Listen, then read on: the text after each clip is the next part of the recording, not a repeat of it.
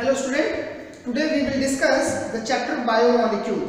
So uh, many videos I have made already on my channel, so please subscribe it. And uh, one important part of this biomolecule chapter that is nucleic acid I have already done and this video is present in my channel. Okay, channel list you can search out for nucleic acid. So today we will start this chapter from the initial point and uh, we will take introduction of biomolecule. Okay, so let's define what is biomolecule? So generally, if you will go through the definition which is written in your NCERT book, all the carbon containing compound present in living cell called as biomolecule. Okay, means uh, we used to say that the living chemistry is basically carbon chemistry that you can say uh, organic chemistry and all the major molecules which are responsible to make biomolecules and make the structure of cell and component of cell are generally hydrocarbon derivatives okay? So that is why it is written that all the carbon containing compounds present in living cell is called as biomolecule.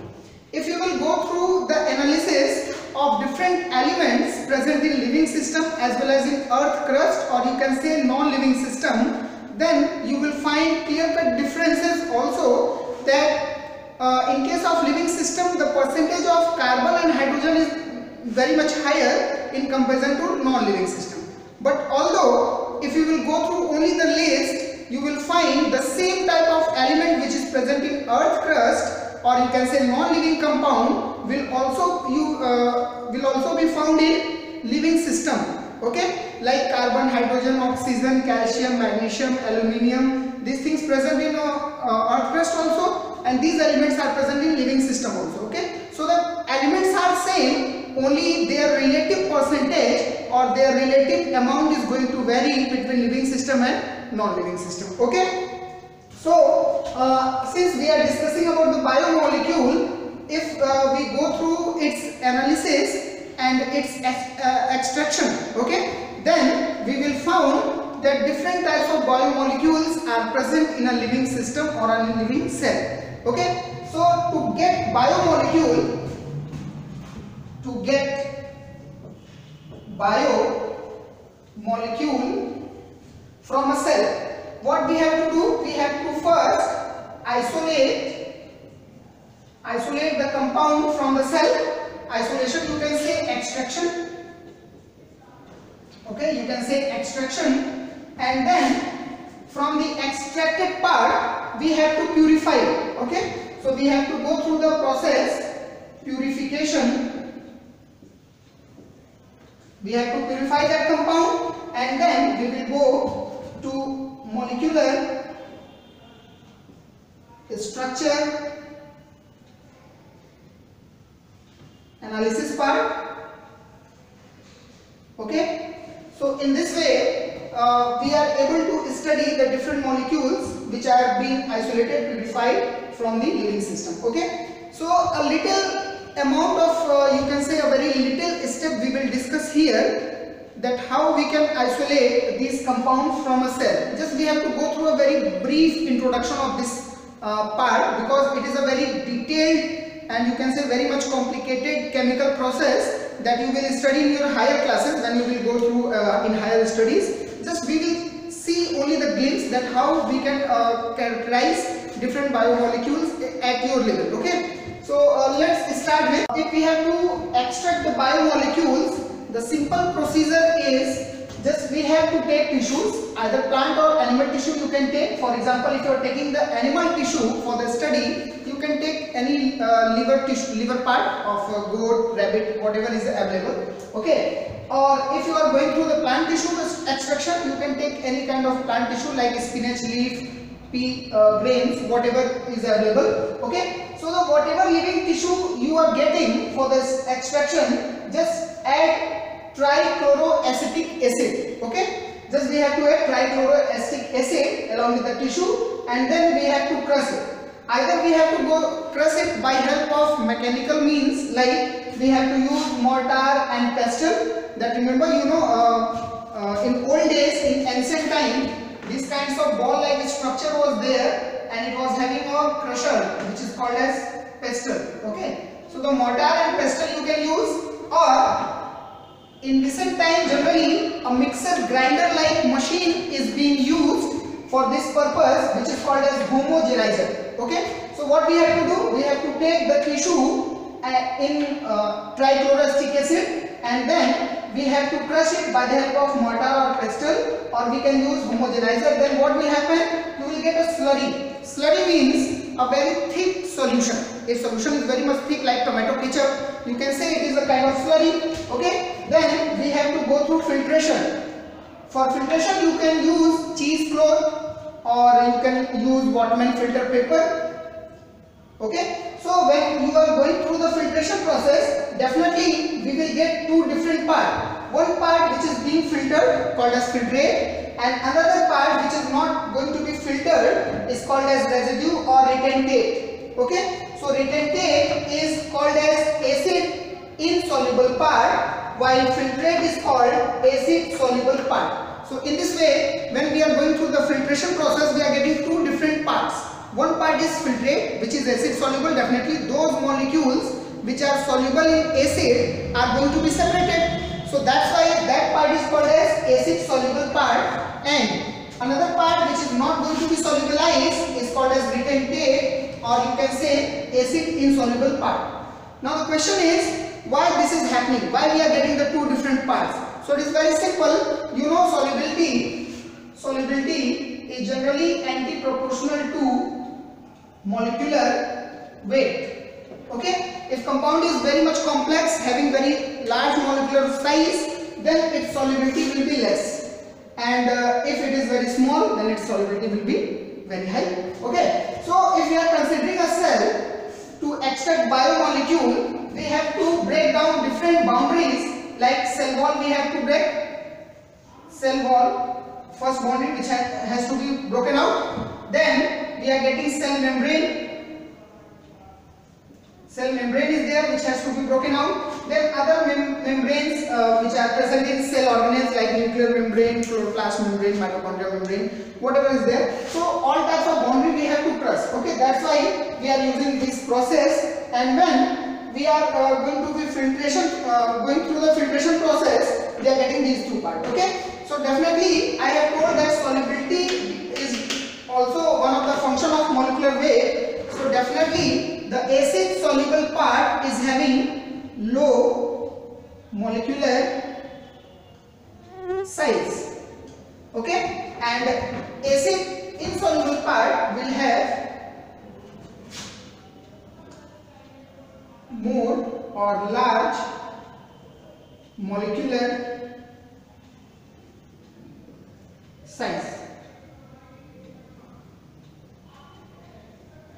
Okay. Now the question is, what is the criteria?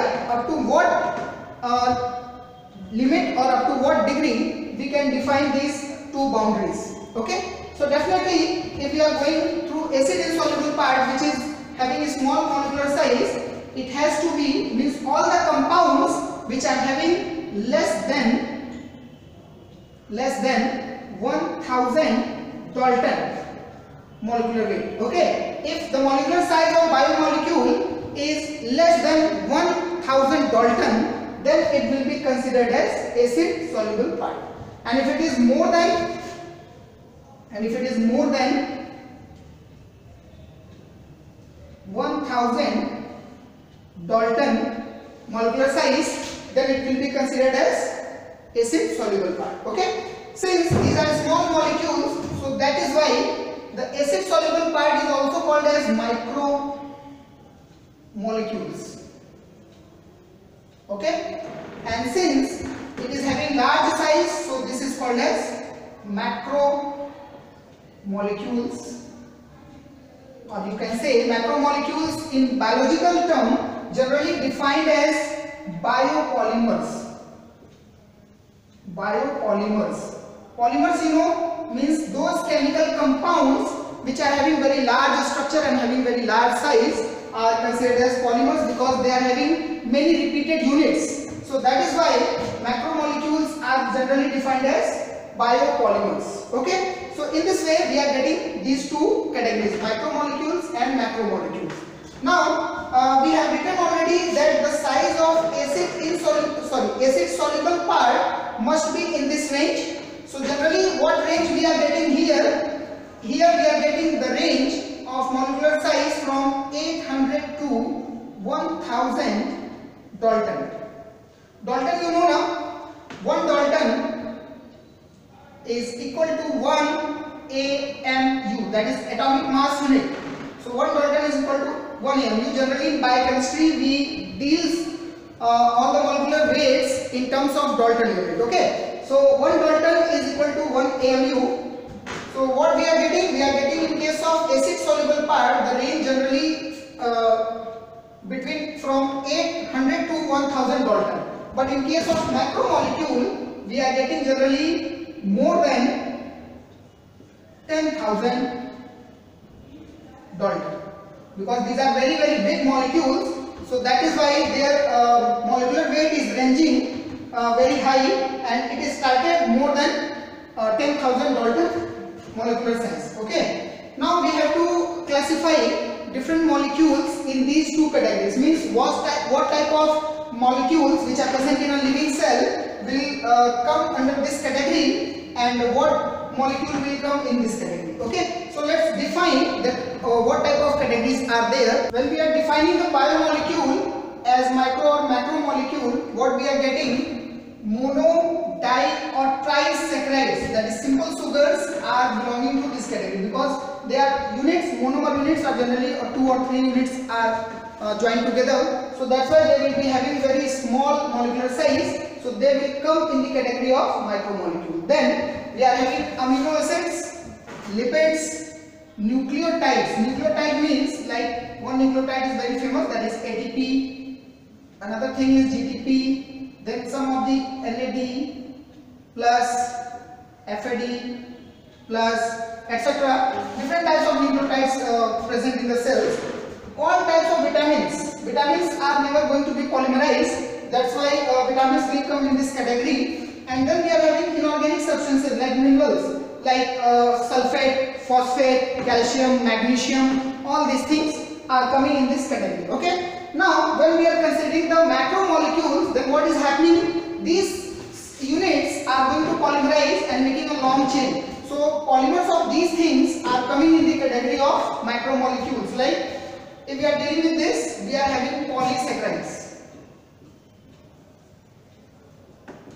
Polysaccharides like you can say starch, which is polymer of glucose, then cellulose, cellulose, okay, glycogen,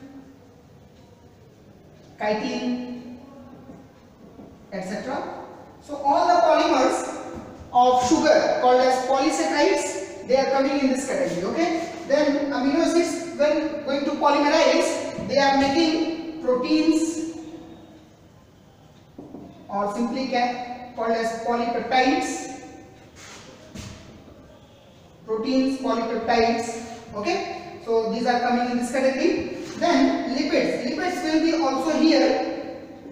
Why this is so? See, um, look, what is happening? Lipid is considered as both micromolecules as well as macromolecules. Why this is so? Because in NCERT it is written that when we are extracting the molecules, some of the free lipids are going to filter and coming in this category but some of the lipid molecules are bounded with membrane proteins. So they are not coming in this category, they are going to be insoluble part because they are bounded, okay, along with the protein, so their molecular weight is going to be increased. So this statement is written in your NCERT, but along with this, we can also consider another things because lipid is a very much diversified molecule. It is having different variety, different diversity uh, in terms of their structure, okay. So when we are considering the lipid, some of the lipids are having a small size, small carbon skeleton. So they will come in this category. But some are very very complex and having different types of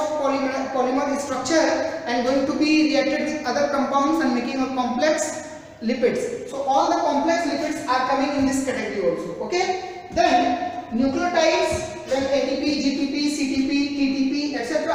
are going to polymerize. They are making what? They are making nucleic acid. What they are making? Nucleic acid like DNA, RNA. So these nucleic acids are coming in this category of macromolecules which are going to be formed after the polymerization of these nucleotides. Okay. Then uh, another thing you can consider some of the non-membranous molecules are and cell organelles sorry some of the non-membranous cell organelles are also coming in this category like we can consider ribosome okay then vesicles. Vesicles of membrane. Listen. What is happening? When we are uh, breaking a cell the cell membrane is going to be ruptured. And when it is going to be ruptured the fragmented part of membrane is having tendency to become spherical in shape. Okay? That is why when uh, we are crushing the cell the, some of the membrane part fragments are going to uh, make spherical structures and these ball like spherical structures are called as vesicles so these vesicles are coming in this category also okay so in this way we can categorize biomolecules in micro and macromolecule. Another term related to this introduction of biomolecule is biomass. What is biomass? Biomass is generally defined as living organic substance. Means whatever organic molecules or substances present inside a cell are called as biomass. Okay. These biomass are generally produced after assimilation of nutrients. In case of plant, you can see it is defined as productivity because in plant, plant is performing photosynthesis and after the photosynthesis, the organic substance is going to be synthesized which are making their structure. Okay, and then this some of, uh, of them are going to be stored as food and these foods are going through the uh, food chain into the ecosystem and making the biomolecules in and uh, biomolecules and other components of all the living organisms okay? So in this way when food is going to be assimilated in our body it is making our own structure of the cell and that is why whatever organic molecules are going to be formed in this way are considered as biomass which is present in a living system okay? So uh, when we are considering the biomass biomass can be of two types if we are considering the types it can be of two types one is fresh. Fresh biomass. Another is dry biomass. Dry biomass is one of the most important uh, criteria to measure the productivity in comparison to fresh biomass because fresh biomass is defined as the molecular weight along with the water. Like uh, generally we used to say that a cell consists of, consisting of 70% water. Means suppose if a cell is having a weight of 100 gram for example then 70 gram will be water.